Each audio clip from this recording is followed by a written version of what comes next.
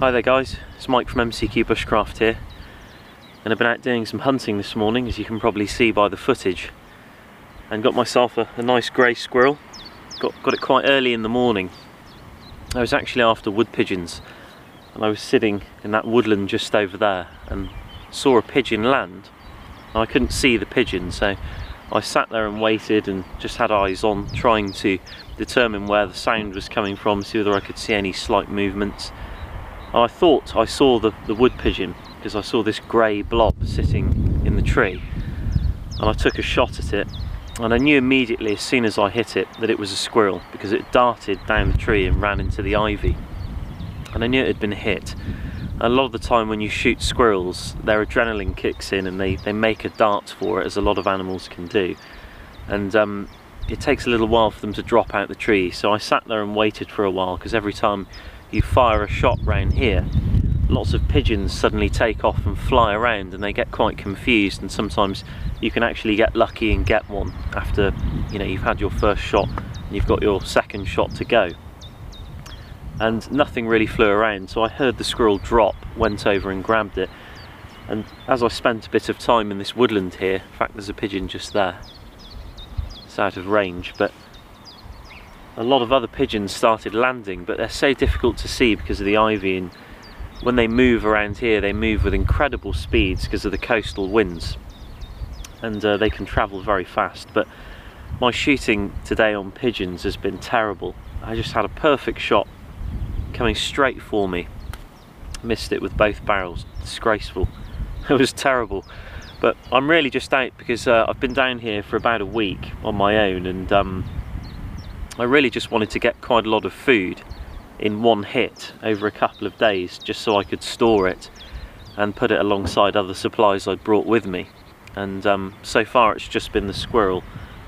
But I'm being a bit lazy not doing too much work don't want to burn too many resources hiking all over this place. I've done that the last day or so and it's exhausting and I'm just kind of taking my time. But it's a beautiful day. And I think what I'm going to do is now the tide's heading out and uh, it's cooling off a little bit now. I'm, I'm going to go into this gorse over here, just set up a bit of a hide and spend some time there because this is a good flight path that pigeons follow, or wood pigeon follows on this particular plot. And uh, I'm going to spend some time there and see whether I can get some shots. But there's no shortage of pheasant, that's for sure, but they're out of season unfortunately, or else I'd be eating very well.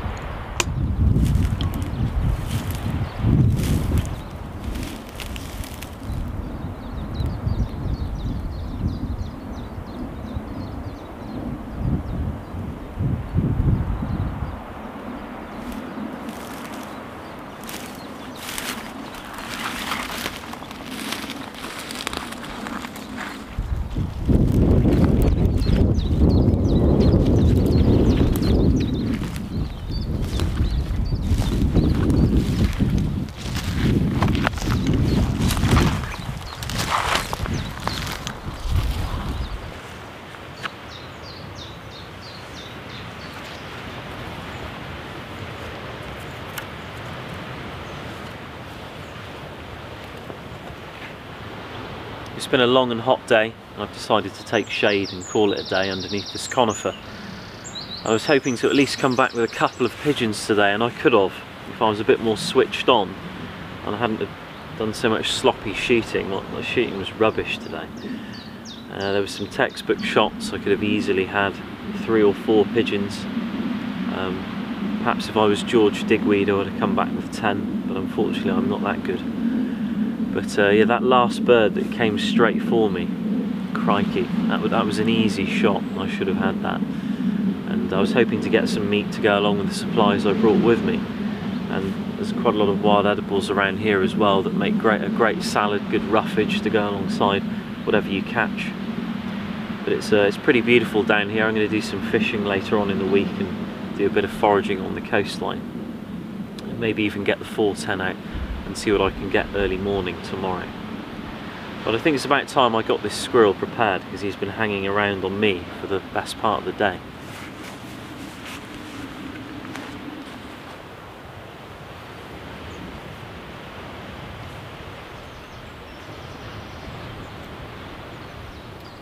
My normal technique of dressing a squirrel usually involves slicing under the tail and then standing on it whilst pulling up to peel off the top half like a jacket and then the trousers can be done and then slice, gut and the, the meat is basically ready then to eat. But in this case I want the hide. I want to keep the hide of this squirrel. So I'm going to be dressing it in a very kind of delicate way by slicing here, taking the legs out taking the legs out there and hopefully taking the skin off in one piece with tail attached.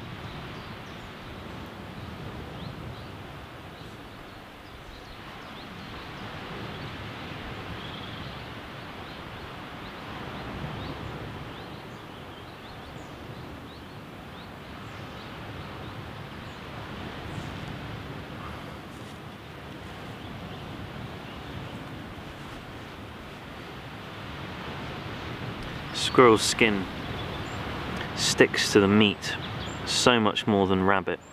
If you ever dress a squirrel and a rabbit, the difference is quite noticeable.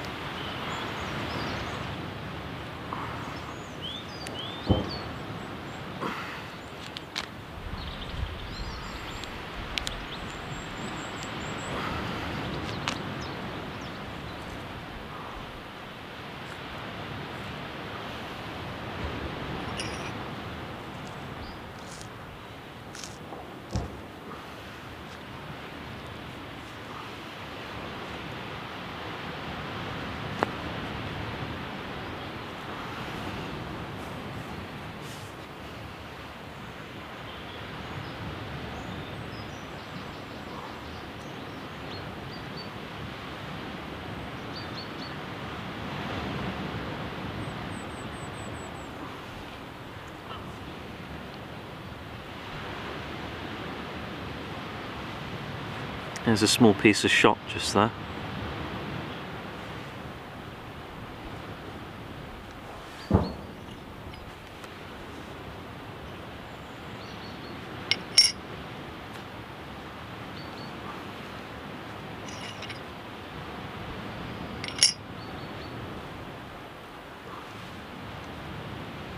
Another piece just there.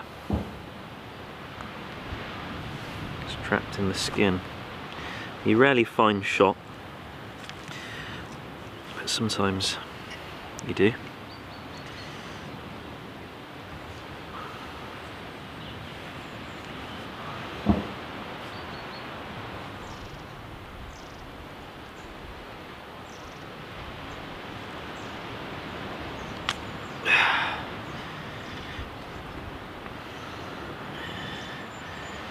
Got a bit of mess coming on here.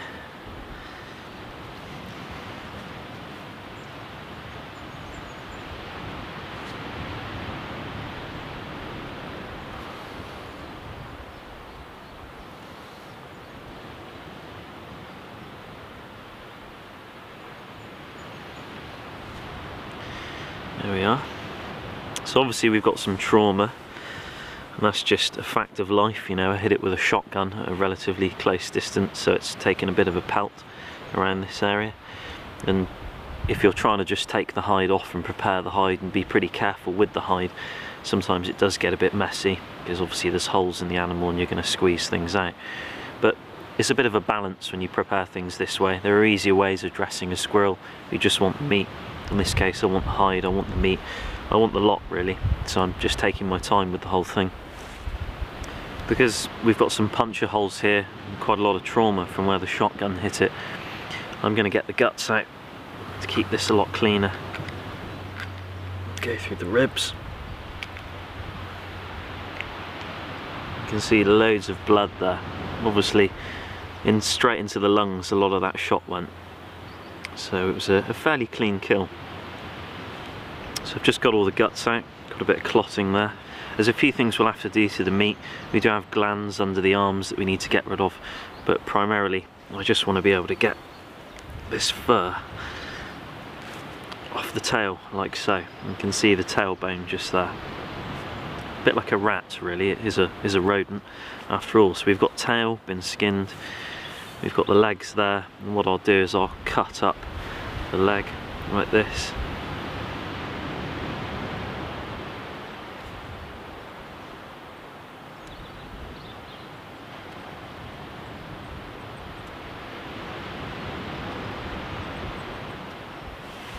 So there we are, that's one leg opened. Do the other one.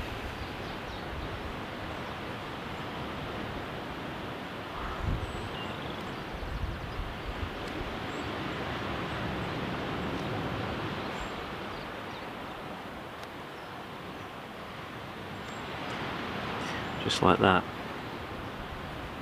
So the back legs are all good. You need to get it all off of the head now.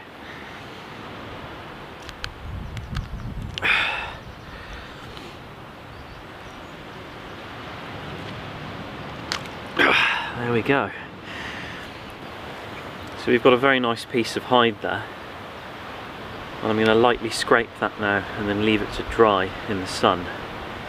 And at a later stage use the brains of the squirrel, which I've left in the head, to make a solution to rub into the hide, to make it very supple, almost like very thin suede. But for the time being, I need to get this cleaned up. Obviously I've got blood all over my hands, the squirrel's fairly messy, although it is ready for storage just like this and I've left the brains in the head there because it's the most logical place to leave the brains until a later stage where I have time to process the hide. But I'm going to go down to a stream and wash my hands and hygiene is something I think a lot of people are concerned about especially when dressing animals and you want to be careful of cuts on your hands. Even the smallest of cuts disease can get through.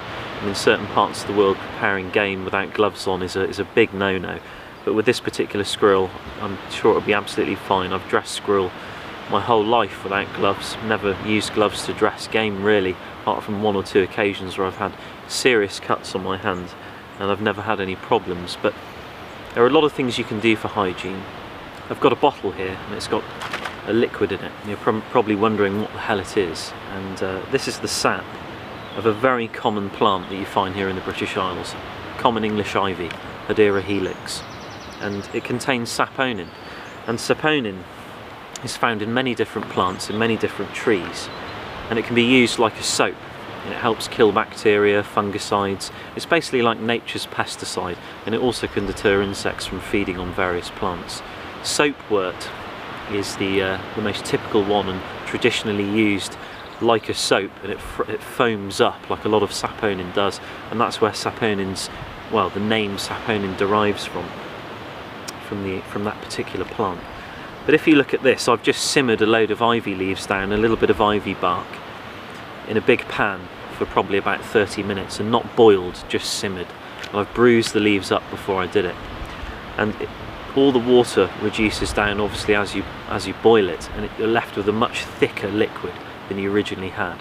And if you look at this liquid here, you can see it foams up a little bit like soap. And even if you take the lid off, obviously the bubbles remain. And this is probably not the most effective source of saponin, but it is one of them. And you can make these liquids up around a camp area if you have a big enough pan and make a makeshift soap that you can use to wash your hands and tools with out in the wild or in the wilderness. One thing I normally do with my knives after skinning is pour boiling water on them after I've removed the debris from the knife. And that's a very good way of disinfecting them. Obviously you don't want to pour boiling water on your hands, but one of the most simplest forms of hygiene I use is just fresh flowing river with a coarse stone or grit at the base, like, like almost like a sand that can be used as a pumice stone to clean your hands. And I always make sure I clean underneath my nails with this knife prior to doing so. And you can obviously clean the knife again afterwards or beforehand, whichever way around you do it. But I think what we'll do is we'll go down the river and get this piece of meat cleaned up and my knife. And what I'll also do is wash my hands and clean them off down in the river. And I'll get this scraped and hung up somewhere. And then I'll use the brains at a later stage to actually preserve the hide a little bit more. And then we can smoke it after that and have a nice piece of squirrel hide to use.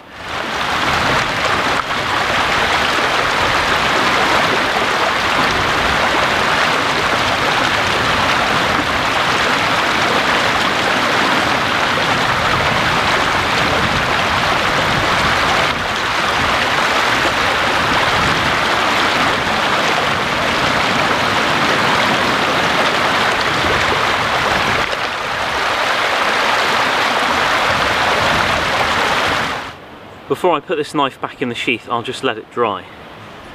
This way, the leather won't absorb the moisture and harbour it and actually rust my knife. But this is ready to go in storage now. And this meat will last quite a few days just in a bag, just out here, provided the temperatures don't get too warm.